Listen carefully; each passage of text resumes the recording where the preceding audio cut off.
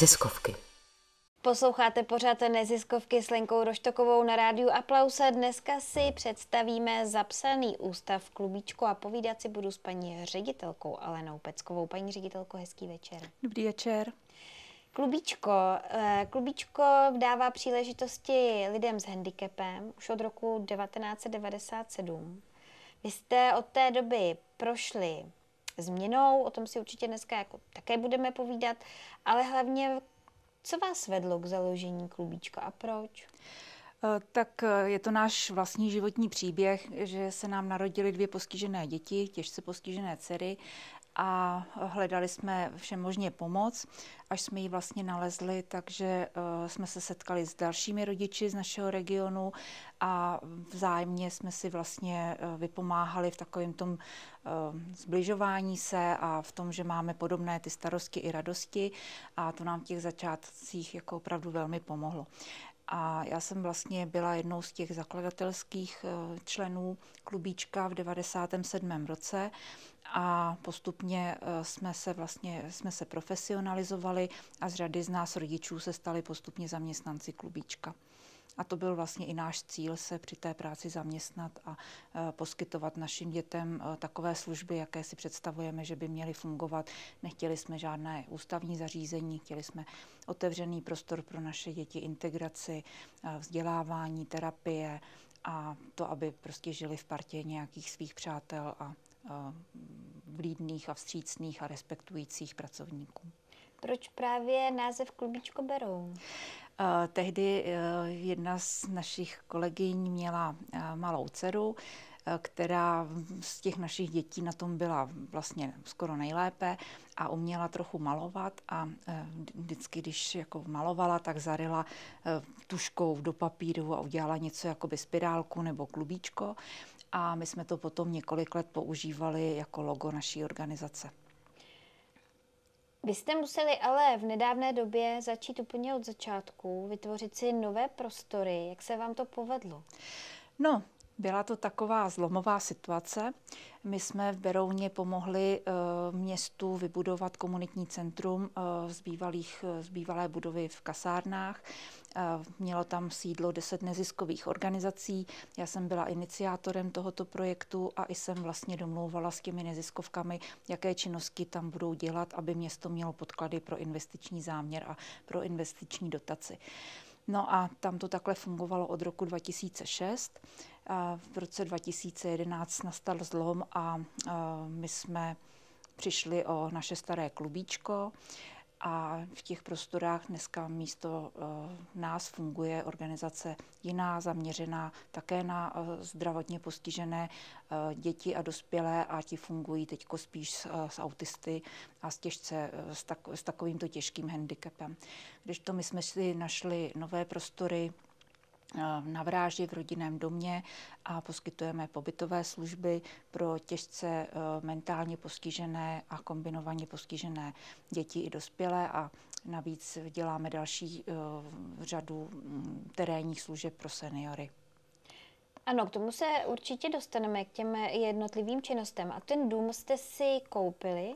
No, nejdřív to bylo tak, že jsme ho koupili my s manželem, zaručili jsme se veškerým svým majetkem a spláceli jsme úvěr za klubíčko, protože jako nová neziskovka s novým ičem jsme vlastně neměli žádnou historii finanční, tak banky nemohly nám dát žádný úvěr pro organizaci. Klubíčko bylo v nájmu a platilo nám vlastně to, co my jsme platili těm bankám, takže nebyl z toho žádný výdělek. No a po několika letech v roce 2018 se nám podařilo získat pro klubíčko bankovní úvěr a ten tedy vlastně dům se převedl už na klubíčko, my jsme z toho už vyvázaní a klubíčko si teď ten úvěr splácí samo. Že vy jste si na svoji neziskovou organizaci vzala svůj vlastní osobní úvěr hmm. s manželem. Hmm. To jste hodně odvážní teda.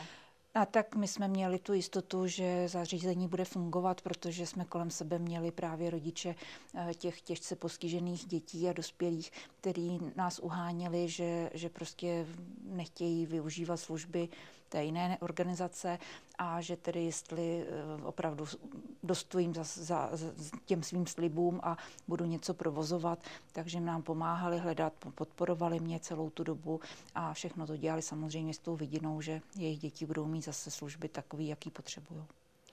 Vy máte týdenní stacionář pro lidi s handicapem, ať už eh, mentálním nebo eh, tělesným, případně kombinovaným. Eh, pro koho, ten, pro koho ten stacionář je? V současné době v něm máme klienty mezi 20 a 45 lety.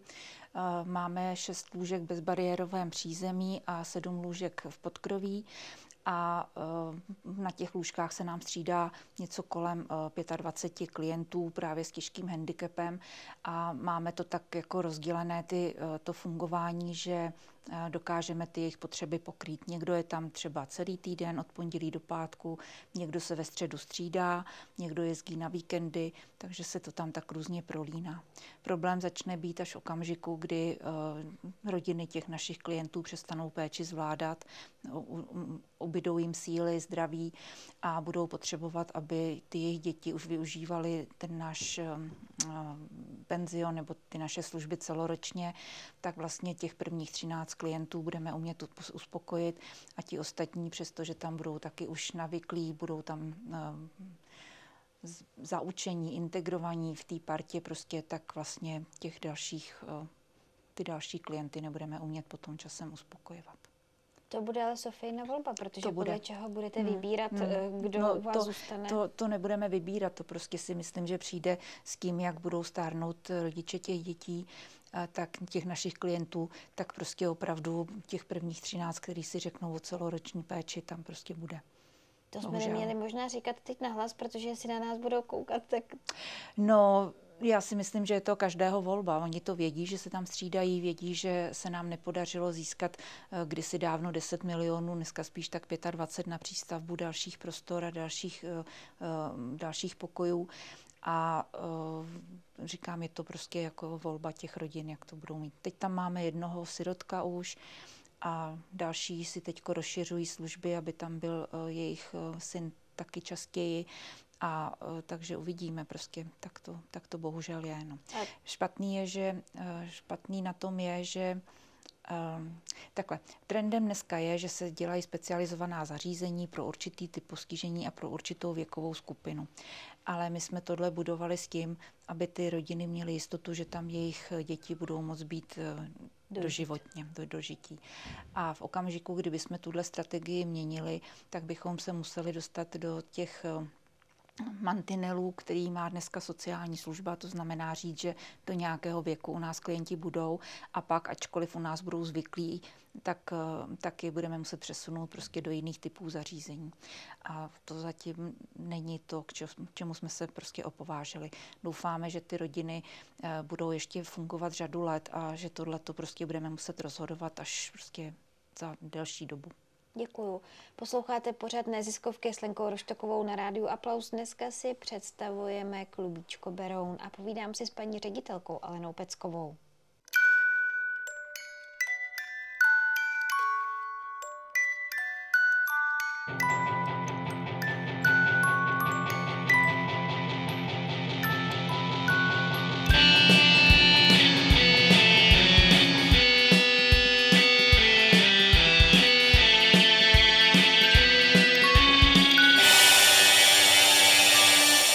Neziskovky.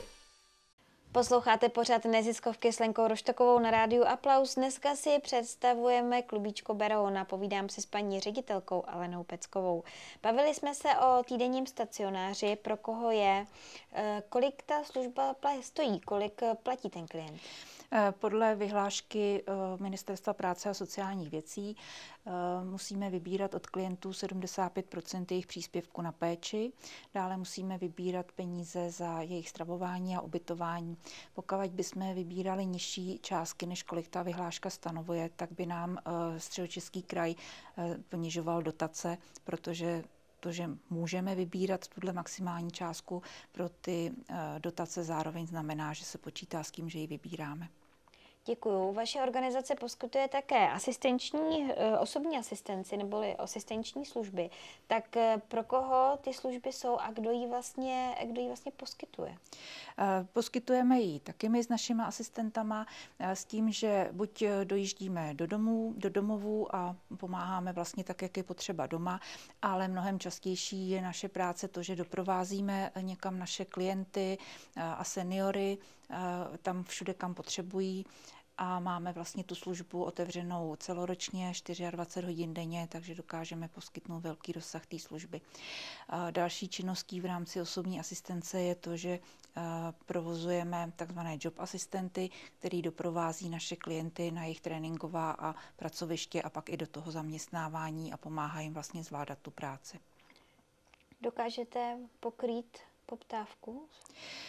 Zatím v současné době ano ale protože nás čeká velký rozvoj toho našeho, našeho sociálního podniku, kde budeme otevírat veliké bistro v Berouně na, na, vlakovém nádraží, tak tam bude potřeba mnohem více zaměstnanců s handicapem a tím pádem i mnohem více hodin osobní asistence, protože uh, my zaměstnáváme lidi, u kterých úplně nejde předpokládat, že by tu práci někdy mohli zvládat úplně samostatně bez, toho, bez té dopomoci. Jedná se hlavně proto o to, že mají mentální handicap a potřebují hodně uh, koordinovat tu svoji práci. Je zájem o práci osobního asistenta? No, byly roky, kdy nebyl. Teď se to trošku lepší, zřejmě vzhledem k tomu, jaká je situace na trhu, takže, takže eh, máme teď naplněný stavy zase po dlouhé době a na druhou stranu doufáme, že to utahneme finančně, když máme konečně dost zaměstnanců, kolik jich potřebujeme. To je vždycky boj, jak to vy, vy, vybalancovat. Eh, peníze u nás jsou o třetinu nižší, než jsou ve státních zařízeních, protože eh, když jezdíme na stáže nebo někdo k nám, tak se samozřejmě mé kolegyně o to velmi zajímají a to, co moje kolegyně dostávají hrubým, hrubé mzdě, tak, tak kolegové z jiných státních institucí, z příspěvkových organizacích dostávají toto v čisté mzdy, mzdě. Takže je tam rozdíl zhruba těch 30% Kolik eh, bere váš osobní asistent? Náš osobní asistent má tak maximálně 25 tisíc hrubého s příplatkama za soboty, neděle a noční služby. To není na dnešní poměry. Ne, není. Ale je to o tom, že uh, máme pohodové zaměstnání, pokud máme dost asistentů, tak ta práce opravdu se mezi ně dobře rozdělí. Uh, Druhá volba je mít malý počet eh, asistentů nebo pečovatelů, a eh, kteří by jenom poskytovali ty základní úkony péče, oblékání, stravování, hygiena, ale neměli by čas si s klienty popovídat, neměli by čas s nima dělat aktivizace, chodit na vycházky, na výlety, takže my jdeme tou cestou, že chceme, aby tam těch zaměstnanců bylo dost. A zaplať pámbu se nám daří najít takové zaměstnance, kteří eh, mají podobnou um, vizi své práce, že prostě chtějí pohodový zaměstnání a i tu péči o klienty si představují prostě jako opravdu partnerství a nejenom prostě běhání od pokoje k pokoji a honem rychle a už zase musím běžet jinam. Jako je to třeba v nemocnicích? Tak. Kolik ta osobní asistence klienta stojí? Eh, no, eh, vyhláška říká, že teď může stát buď 135 korun nebo 155 korun na hodinu podle toho, kolik hodin měsíčně čerpá, ale je to tak, že eh, my vlastně podle té vyhlášky účtujeme přesně jenom ty minuty, které klientovi věnujeme. Takže když je klient náročnější a potřebuje třeba při hygieně delší čas na tu hygienu, tak eh, samozřejmě eh, mu zaučtujeme třeba 20 minut, když je to prostě hygiena s klientem, který řadu úkonů udělá sám a potřebuje jenom nějaký dohled nebo nějakou malou dopomoc, tak mu zaučtujeme třeba jenom pětiminutovku. Takže to, záleží to opravdu na tom rozsahu toho postižení a v tomhle jsme spravedliví a leta jsme hledali uh, možnosti, jak vlastně takhle spravedlivě to, to dělat, až jsme si našli evidenční systémy, ve kterých jsme si vlastně zadali takovéhle všechny úkony a dokážeme rozlišit, jaký úkon a v jaké časové délce klient potřebuje. Má individuální plánování, takže v tom se to všechno zobrazuje.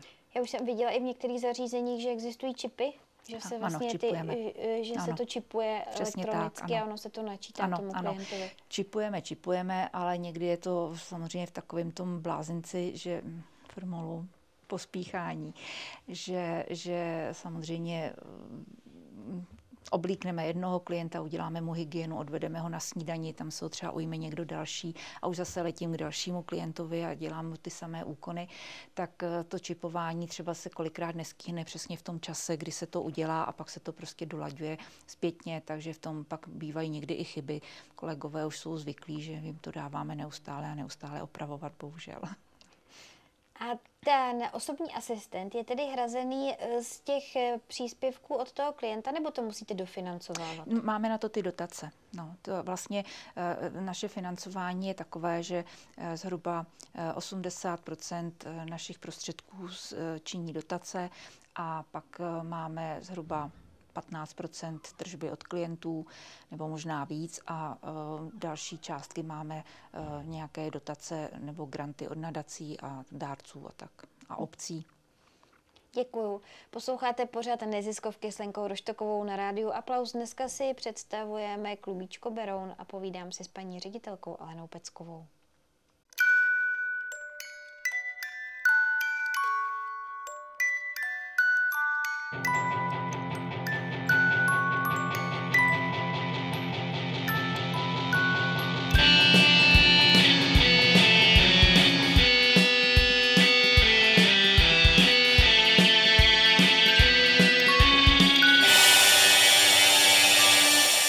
Neziskovky. Posloucháte pořád neziskovky s Lenkou Roštokovou na rádiu Aplaus. Dneska si povídáme o klubíčku Beroun a povídám si s paní ředitelkou Alenou Peckovou. Paní ředitelko, máte také odlehčovací služby. Pro koho tyto služby jsou? Je to pořád stejná cílová skupina, jsou to uh, většinou ti naši klienti s tím těžkým postižením. No a protože budeme teď v brzké době stavět eh, plošinu, abychom měli přístupné i to podkroví, tak předpokládáme, že tam budeme v těch malých pokojíčkách umět obsloužit i seniory. Tak jak to bylo doteďka, uh, tak by seniori museli zůstávat na pokojích přízemí, kde je přece jenom hodně ruchu, není tam tolik soukromí, když to v těch malých pokojíčkách eh, to tak bude a tak si myslíme, že bude region rád, že přibydou další odlehčovací lůžka pro seniory. Jak je to ve vašem regionu s, vlastně s, s pokrýváním eh, poptávky po, po ubytování seniorů? Hodně u nás eh, dělá takovýhle služby farní charita, ta dělá jak terénní, tak ambulantní i pobytové služby a mají i velmi těžké případy Alzheimera a tak dále umí. No a pak tam máme v regionu uh, tři uh, domovy pro seniory, domovy s pečovatelskými službama, takže nějaká, nějaké pokrytí je, ale samozřejmě uh, nikdy ten nástup do těch, um, do těch různých domovů není tak rychlý, jak je potřeba pro tu rodinu. Vždycky se musí nějakou dobu čekat, ty lůžka prostě jsou obsazená dlouhodobě. Děkuju. Máte také sociální aktivizační služby. O co se jedná? Eh, to jsou služby, kde vlastně máme takové jako programy, buď terapeutické nebo vzdělávací a v rámci eh, tady té služby poskytujeme, provozujeme i tréninkové pracoviště, což se nám hrozně osvědčilo. Eh, my jsme vlastně začínali právě s těmi těžce postiženými klienty, kteří spíš potřebují péči. A pak nám někdy v roce 2015-16 začali chodit klienti, kteří byli absolventi různých praktických a speciálních škol a byli hrozně šikovní oproti těm, o které jsme se starali do té doby. A nám přišlo uh, špatné, že by takhle šikovní lidi měli celý život už sedět jenom někdy na herně, hráčoviče nezlob se, mít, mít volnočasové aktivity a vlastně ten život jakoby pro, promrhat prostě tím, tím, že jim někdo pořád bude jenom jako dávat prostě nějaký volnočasovky. No a tak jsme začali zkoušet tréninky, začali jsme si sami vařit, eh, starat se o úklidy, starat se o prádlo. No a takhle jsme vlastně eh, si vybudovali takový zaučovací program, který někdo dokáže absolvovat za měsíc a je schopen té práce. Někdo, někomu to třeba trvalo i tři roky, než, než jsme se mohli spolehnout, že tu práci dělá dobře. No a, a tak to nám vlastně prochází klienti tím tréninkem a když už jako usoudíme, že už je to dostatečné, že už umí, tak jim nabízíme pracovní uplatnění v tom našem sociálním podniku, který jsme vlastně kvůli tomuhle tomu všechno zakládali. Podnik se jmenuje Klubák a má to symbolizovat to, že se z klientů vyklubali zaměstnanci a naši kolegové. O tom si budeme povídat na podzim, protože vy jste vyhráli výběrové řízení, tak jenom ve zkratce, o co, o co půjde? Eh, je to, vyhráli jsme veřejnou soutěž na prostory na uh, Beronském nádraží vlakovém. Uh, asi tři roky jsme komunikovali s českými dráhami, že bychom měli zájem o to se do té soutěže dostat. Měli jsme velkou, velkou obavu, že s malou neziskovkou nebude vůbec nikdo komunikovat, ale dráhy se zachovaly skvěle, opravdu nám prostě ty výzvy posílaly a my jsme tedy tu šanci nepropásli a podali jsme projekt. Sice jsme původně chtěli pouze 50 metrů čtverečních, ale nakonec budeme mít 131 metrů čtverečních, takže s tím jsme moc ne, nepočítali, že to bude tak velké. No a nakonec jsme vymysleli to, že eh, bude, bude ten prostor rozdělen, v jedné části bude bistro, na vráži budeme ta jídla připravovat nebo ty pokrmy do toho rychlého občerstvení připravovat, tam se to bude jenom prodávat. V druhé části tu nazýváme Neziskuj, kde bude prezentace nás a dalších 40 eh, asi poskytovatelů a neziskovek z regionu. Eh, tolik takovéhle velké množství vlastně se mi přihlásilo předběžně, že by měli zájem o tu prezentaci právě na tom hlavním nádraží. Budeme tam mít komisní prodej jejich výrobků, a nějaké plátno, nějakou prezentaci jako promítací, tak i samozřejmě v, let, v letákách. A, e, no a třetí část, e, té říkáme klubíčkovna zatím a tam předpokládáme, že buď bude nějaké krátkodobé hlídání dětí, e, nějaké semináře, workshopy, prostě co zrovna bude tak jako možné a že by tam vlastně chodili právě lektoři i z těch jiných spolupracujících organizací.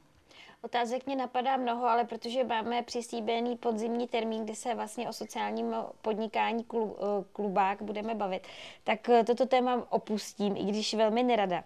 Vy jste vlastně od loňského června provozujete také adaptační skupinu pro ukrajinské předškoláky. Jak vás to napadlo a jak to vlastně funguje? No, tak eh, byla to taková reakce na tu situaci, která bohužel nastala. My jsme nejdřív doma ubytovali maminku s třemi dětmi, z čehož jeden byl předškoláček. No a viděli jsme, že maminka měla strašnou snahu se nechat zaměstnat, ale neměla vlastně tu možnost toho hlídání. A tak jsme šli tou cestou, že jsme eh, se zařadili do výzev ministerstva školství na zřízení a provoz adaptační skupiny a uh, hledali jsme prostor, našli uh, nadace Tip Sport a uh, Člověk tísni a Gramofond nám pomohli s tím, aby jsme prostory vybavili a i nám pomáhali platit nájemné komerční. No a my jsme vlastně sehnali nejdřív naše české paní učitelky, jednu kolegyni z Klubíčka, která je z Ukrajiny, jsme převedli z Klubíčka do školky a tím jsme vlastně mohli začít. Dneska tam máme zaměstnanou pedagožku z Ukrajiny, tu naší bývalou kolegyni Ukrajinku a koordinátorku, eh, která je Češka. Děkuji, paní ředitelko. Bohužel musíme končit, ač velmi nerada. Je něco, na co jsem se nezeptala a co považujete za důležité, aby tady dneska večer ještě zaznělo? Eh, já bych se vrátila k tomu úplnému začátku. Eh, vím, že dneska existuje řada facebookových skupin, kde rodiče sdělují své starosti a mají tam taky podporu vzdálenou. Eh, v těch skupinách pro nás v těch začátcích bylo naprosto jednoznačně důležité prostě setkávání s těma jinýma rodinama a vlastně do dneška přetrvává ta obrovská důvěra v těch rodinách, v to naše fungování, protože se to všechno budovalo v situaci, kdy i my jsme měli dvě těžce postižené dcery a uh, žili jsme stejný život, jaký žijou dneska ty rodiny, o které se staráme. A myslím si, že toto je nenahraditelné. Ten, ten pocit toho bezpečí a té bezprostřednosti a té intimity těch vztahů, jaká mezi náma vznikla. A tohle všecko vlastně vzniklo díky tomu, že existuje asociace rodičů a přátel zdravotně postižených dětí, která združuje mnoho klubů eh, po republice, téměř v každém okresu nějaký takový klub je. A tam vlastně rodiče nacházejí přesně to, čím my jsme si kdysi procházeli a co pro nás bylo tak pozitivní. Děkuji, paní ředitelko, to byly, eh, to byly krásná, to byla krásná slova na závěr. Já moc děkuji, že jste přijala pozvání do pořadu neziskovky. Budu se moc těšit, že se tady na podzim eh, opět setkáme a budeme si povídat o sociálním podnikání Klubák, o sociálním podniku Klubák. Abych byla zcela přesná, držím vám palce, jste neobyčejně silná žena. Přeju vám, aby se vám nadále dařilo s Klubákem, ale i s Klubíčkem a v dalších aktivitách, kterým se věnujete. Děkujeme. Důležité je nebýt sám. Přesně tak. A my, milí posluchači, pro naše končíme, ale nebojte se, příští týden se opět můžete těšit na další díl pořadu Neziskovky na rádiu Aplaus. Teď už ale hezkou noc.